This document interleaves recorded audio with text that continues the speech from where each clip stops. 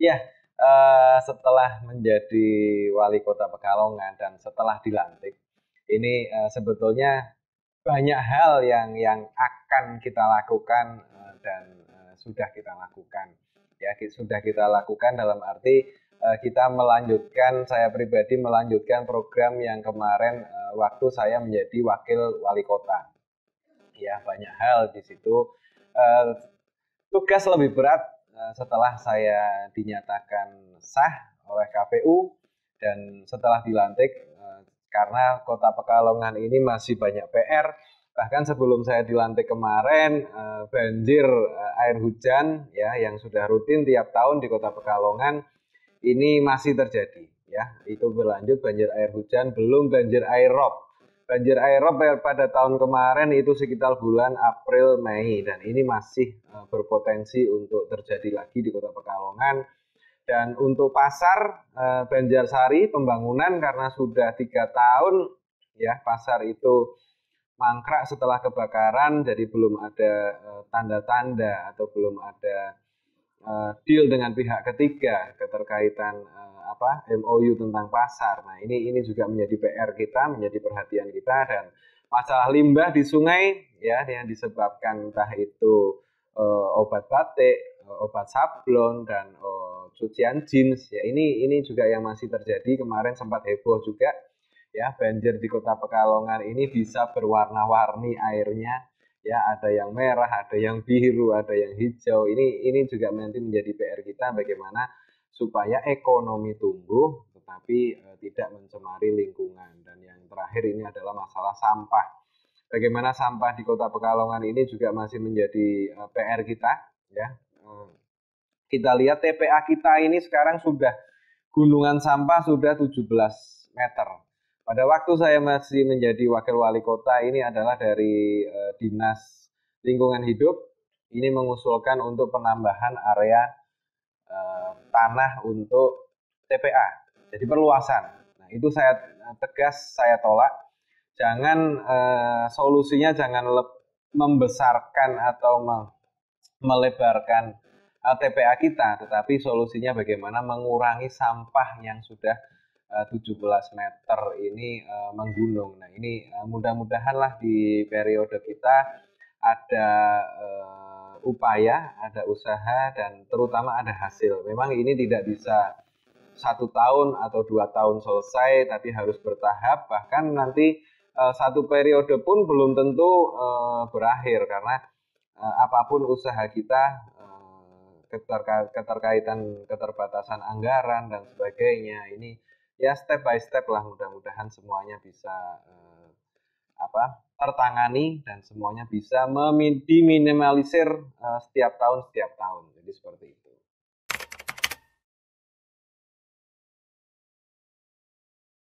Iya, banjir ini kan hampir 11 tahun ya terjadi di Kota Pekalongan. Tentunya tuntutan kepada eh, apa? kepala daerah baru ini sangat besar di masyarakat karena di waktu kemarin kampanye pun survei kita apa yang masyarakat mau uh, harapan masyarakat terhadap calon uh, kepala daerah ini adalah yang paling banyak ini adalah tentang penanganan banjir dan rob. Nah, memang ini masalah kompleks di samping uh, banjir dan rob eh, banjir air hujan dan rob ini yang pertama ada beberapa faktor. Yang pertama memang curah hujan yang setiap tahun semakin tinggi bahkan yang tahun ini cenderung ekstrim makanya sudah sebulan lebih kota Pekalongan uh, terendam banjir bahkan ada daerah yang belum selesai uh, seperti uh, Pasir Sari, Keramat Sari, Pabean, Bandengan, Panjang, Degayung, Celumprit dan sebagainya. Ini yang kedua adalah karakter tanah. Karakter tanah ini ternyata banyak yang karakter tanah itu cekung ya. Tentunya satu-satunya jalan adalah di pompa sedot atau disedot oleh pompa. Nah ini ini juga uh, pada tahun ini 2021 kita sudah anggarkan untuk penambahan stasiun pompa baru uh, sebanyak 8 unit. Ini mudah-mudahan bisa lebih cepat dalam arti mengurangi debit air banjir di Kota Pekalongan. Yang ketiga ini adalah tentang penurunan uh, muka tanah karena dari penelitian dari uh, ITB atau dari universitas-universitas bahkan dari uh, apa uh, Belanda pun kita sudah sampai uh, apa konsultasi ke Belanda. Ini memang uh, penurunan air muka tanah muka tanah di kota Pekalongan ini yang tertinggi di Indonesia bahkan di dunia katanya. Memang kalau kita hanya diam uh, prediksinya 2035 ini kota Pekalongan sudah banjir semua. Uh, jadi kalau musim banjir banjir, kalau musim rob ya uh, rob sudah mengenai semua area, area wilayah kota Pekalongan. Kalau sekarang banjir yang terjadi kemarin itu adalah 22 dari 27 kelurahan. Ini sudah sudah terjadi. Nah, tapi bagaimana kita terus melakukan program bagaimana kita terus berusaha agar ya kota Pekalongan ini jangan banjir. Memang kalau kita diam, kalau kita tidak melakukan apa-apa, 2035 kota Pekalongan akan terendam semua. Nah, ini tentunya tidak kita harapkan. Nah, itulah tadi nawa itu usaha sinkronisasi dengan semua pihak, eh, fokus kepada pembangunan penanganan eh, bencana yang ada di kota Pekalongan, semuanya harus dengan blueprint setiap tahunnya Hmm. setiap tahun itu pembangunan harus nyambung selalu ya.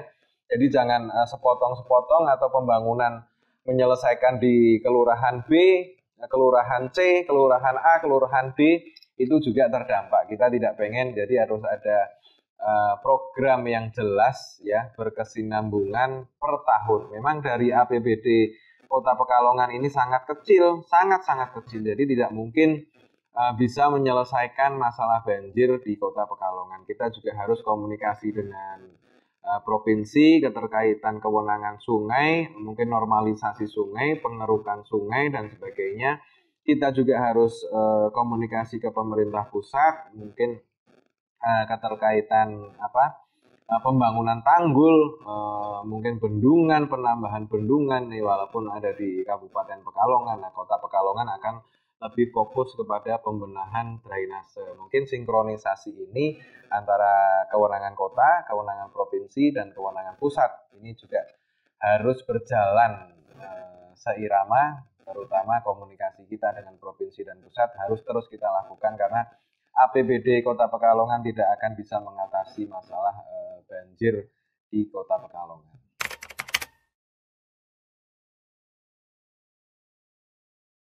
Iya, uh, kita tidak bisa pungkiri di Kota Pekalongan masih banyak pemukiman uh, kumuh ya bisa dikatakan pemukiman pemukiman kumuh padat penduduk. Nah ini termasuk salah satu visi misi kita juga ya untuk uh, pembenahan pemukiman kumuh. Nah, ini juga tidak bisa apa uh, simsalabim, tidak bisa dalam jangka waktu pendek, tetapi kita lakukan dalam uh, jangka waktu panjang ya tentunya dengan uh, kita komunikasi dengan beberapa eh, BUMN maupun kementerian. Ini kemarin sudah ada program pembangunan dari Kementerian PU yang untuk ganti rugi program kotaku yang di Kerapia ini pembangunannya mereka sudah sudah mendapatkan bantuan. Nah ini mudah-mudahan hal-hal seperti itu bisa terus kita lakukan uh, tentunya untuk mengurangi dampak uh, pemukiman kumuh yang ada di Kota Pekalongan.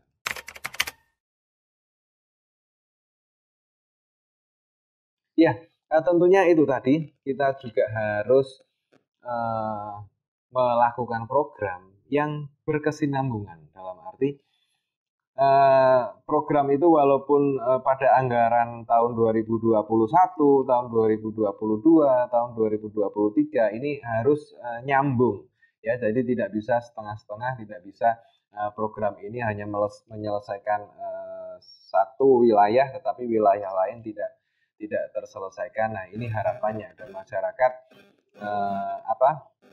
Intinya harus bersabar, harus bersabar karena ini masalah sudah kompleks ini masalah tidak bisa dalam jangka waktu pendek, ini masalah juga harus sinkron dengan semuanya, terutama uh, kesadaran masyarakat, terus uh, aspirasi masyarakat, keinginan masyarakat, uh, yang terjadi permasalahan di masing-masing uh, daerah, kelurahan, ini juga uh, semuanya kita butuh masukan-masukan. Kita juga sudah ada program wadul Aladin ya di situ rata-rata tiap hari ada sekitar 300 uh, WA yang masuk atau 300 pesan yang masuk yang di situ macam-macam. Ya jadi kita mengalami hmm, kesulitan juga untuk membalas atau fast respon ya karena tidak semua permasalahan itu bisa kita jawab sendiri. Jadi kita harus dengan juga konsultasi dengan dinas, kita juga harus konsultasi dengan pihak terkait, terutama supaya tidak terjadi uh, apa asal jawab dan asal janji. Nah, ya jadi uh, masyarakat juga harus bersabar. Soalnya banyak sekali uh, pertanyaan-pertanyaan maupun komentar-komentar kok kadang lama jawabnya, kadang ya itu karena karena kita itu tadi kita tidak mau asal jawab jadi harus uh, sinkron kalau memang bisa kita uh, jawab bisa tidak atau belum ada anggaran atau belum diprogramkan kita kita jawab uh, belum ada anggaran jadi semuanya kita berusaha uh, transparan dan untuk untuk masyarakat Kota Pekalongan jadi kita tidak mau asal janji yang sulit kita uh, realisasikan seperti itu.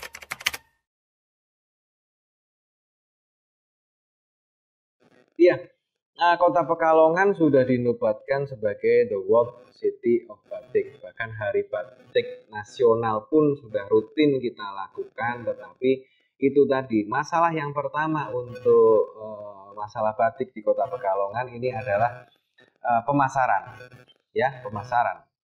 Bagaimana kita harus menyesuaikan dengan era digitalisasi, ya digital marketing. Ini juga uh, melalui dinas Eh, koperasi dan UMKM kita sudah melakukan apa ya pelatihan-pelatihan tentang digital marketing. Nah, masalah yang kedua ini adalah eh, alhamdulillah juga eh, pasar grosir batik terbesar di Kota Pekalongan, pasar eh, batik Setono ini sudah pas di exit tol ya. Jadi eh, masyarakat dari luar kota ya tamu dari luar kota ini keluar exit tol sudah langsung ketemu uh, pasar grosir ini dampaknya sangat luar biasa uh, exit tol ini uh, akhirnya batiknya juga bisa berjalan kulinernya juga bisa berjalan. Nah, tapi kita berhadapan dengan permasalahan itu masalah yang kedua adalah tentang uh, tenaga pembatik ya. Kita masih melihat bahwa tenaga pembatik ini rata-rata berusia sepuh ya rata-rata berusia sepuh. Jadi kalau kita ke pengrajin batik, ke juragan batik, pembuat batik, kita tanya ke para pembatiknya rata-rata mereka sudah bekerja 25 tahun, 30 tahun, 35 tahun. Jadi jarang sekali eh, para pembatik ini atau pengrajin batik ini bekerja satu tahun, dua tahun, lima tahun. Ini sangat jarang sekali kita temukan. Nah, bagaimana regenerasi tentang regenerasi masalah uh, pembatik ini juga juga harus kita perhatikan. Jadi terutama kesejahteraan mereka, terutama uh, kesenjangan antara juragan dengan para pengrajin ini juga harus kita benahi. Minimal mereka ada apa ya jaminan BPJS dan sebagainya. Ini juga harus kita perhatikan karena kalau para pembatik ini bisa dikatakan tidak ada regenerasi dan mandek tentunya para juragan batik akan mengalami kesulitan bagaimana mereka akan membuat atau memproduksi batik kalau kalau para pembatiknya atau profesi pembatik ini baik itu tukang cap, eh, batik, tukang babar dan sebagainya ini mereka sudah tidak ada tenaga kerja tentunya. Nah itu PR yang kedua.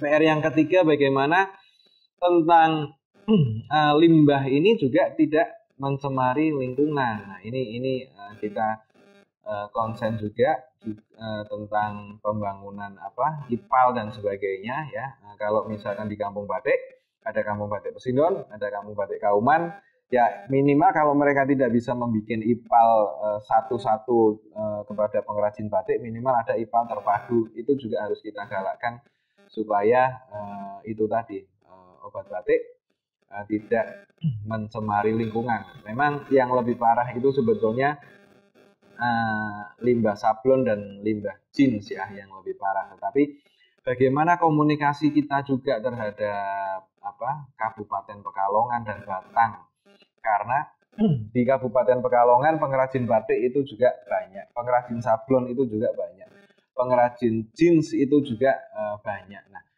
sungai kita hulunya itu di Kabupaten Pekalongan, hilirnya di kita. Jadi kalau kita melakukan apa ya aturan seketat apa pun di kota Pekalongan, tetapi Kabupaten Pekalongan tidak melakukan hal yang sama, sama saja e, limbah mereka akan mengalir ke kota Pekalongan. Ini jadi PR ke depan bagaimana e, tentang e, pemasaran, bagaimana pengoptimalan e, pasar grosir Badik Setono yang e, itu menjadi ikon juga di kota Pekalongan, bagaimana para pengrajin batik dan bagaimana e, pencemaran apa limbah ini untuk untuk kota Pekalongan jadi tidak tidak uh, menjadi ini saya rasa tiga masalah dasar yang harus uh, segera kita uh, selesaikan tentunya dengan uh, paguyuban badik dan sebagainya kita selalu komunikasi terus.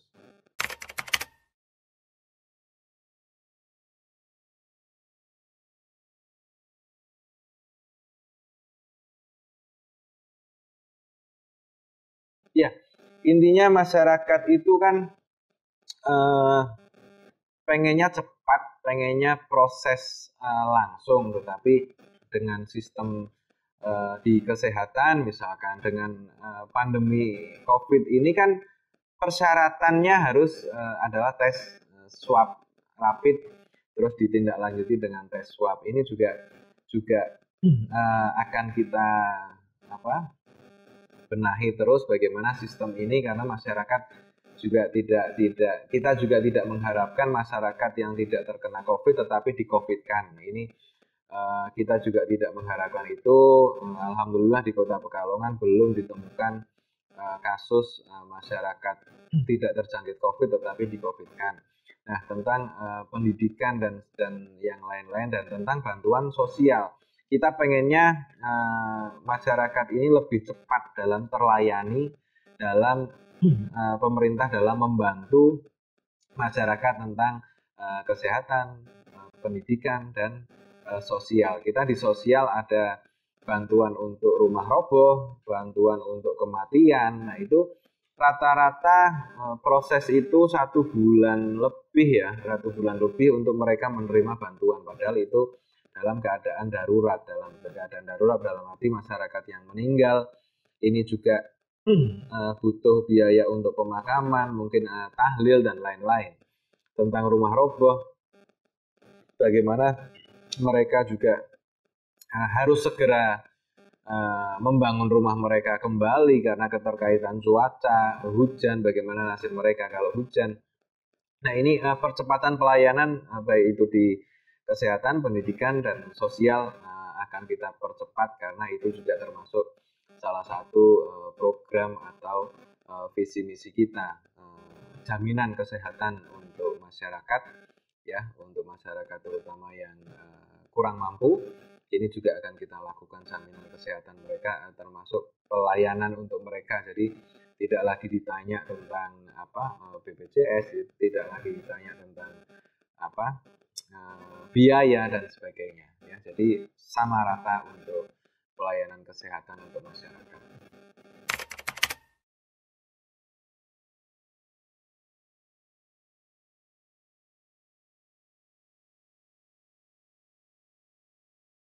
Ya, eh, PR kita adalah bagaimana menata birokrat dulu ya, karena eh, masih dalam arti eh, kita masih kekurangan posisi oh, karena di samping ada yang meninggal di, uh, di situ ada yang pensiun juga ya. Jadi beberapa dinas ini memang kita masih kosong dan masih kita PLT kan termasuk penataan itu dan terutama kalau memang sudah semuanya sudah tertata dan kinerja uh, apa PNS atau ASN ini juga harus dioptimalkan ya karena uh, harus sesuai dengan bidang-bidang karena pelayanan terhadap masyarakat ya pelayanan prima. Jadi tidak ada lagi eh, kantor kelurahan misalkan kosong eh, pada jam istirahat kantor kecamatan terus kantor pelayanan pelayanan eh, publik yang lain. Ini eh, ke depan saya harapkan eh, memang tidak ada dan saya akan eh, sedikit tegas untuk itu. Jadi eh, para ASN ASN yang malas atau yang uh, tidak bekerja sesuai uh, tupoksinya pelayanan masyarakat apalagi kalau keadaan-keadaan darurat seperti kemarin eh, banjir, eh, keadaan COVID, semuanya harus eh, siap siaga sepenuhnya untuk melayani masyarakat.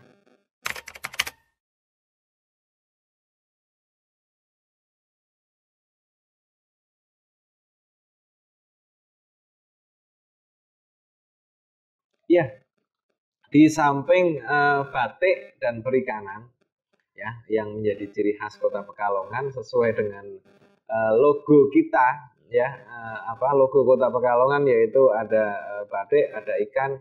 Nah, Kota Pekalongan ini juga sebagai dikenal sebagai kota uh, religius, di mana di situ ada dua Habib karismatik, ya, ada Habib Bagir, ada Habib Lutfi kalau beliau mengadakan acara atau event baik itu maulid, baik itu haul dan sebagainya, ini yang datang ribuan bahkan puluhan ribu. Ya, di, uh, belum lagi untuk Pak Kiai-kiai yang lain, belum lagi Habib-habib yang lain. Itu kalau mereka mengadakan acara, mengadakan acara keagamaan, yang datang pasti uh, ribuan bahkan puluhan ribu. Tidak hanya dari luar kota, dari luar pulau bahkan dari luar negeri ini juga juga datang. Nah, di situ tinggal nanti penataannya untuk ekonomi kita karena uh, hotel otomatis uh, penuh, uh, rumah makan penuh, bagaimana kita mengiring mereka untuk uh, beli batik dan sebagainya. Itu uh, harus kita tata dan kita maksimalkan untuk uh, pertumbuhan atau dampak berdampak terhadap ekonomi masyarakat uh, Kota Pekalongan. Mudah-mudahanlah uh, Kota Pekalongan ini tetap sebagai kota yang religius ya. Lebih mandiri berbudaya tetap harus kita galakkan dan kita pertahankan uh, predikat Kota Pekalongan.